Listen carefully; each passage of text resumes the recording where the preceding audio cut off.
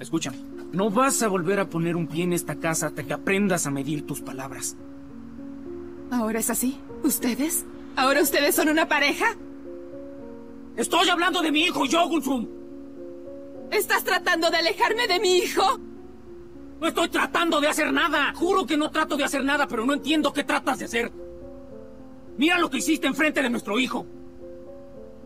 ¿Cómo puedes hacer eso? El pobre estaba asustado. Entonces, ¿por qué duermes con la niñera de Khan estando él aquí? No tengo la menor idea de dónde sacaste tu obsesión con Pinar. No sé si sea uno de los estúpidos planes creados por tu madre para deshacerse de ella.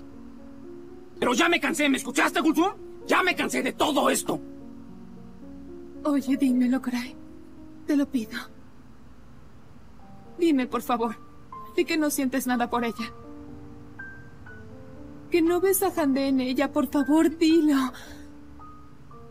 Gulsum, ¿qué haces? ¿Qué tienes? ¿Estás bien? No estás actuando normal y eso lo sabes. ¿Qué pasa? ¿Qué pasa? No pasa nada. Ese es exactamente mi problema.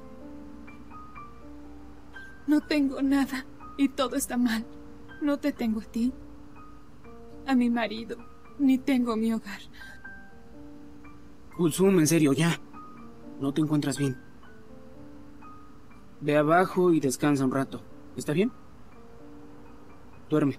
Eh, y por hoy no regreses, ¿bien? No vengas a ver a Khan, ¿de acuerdo?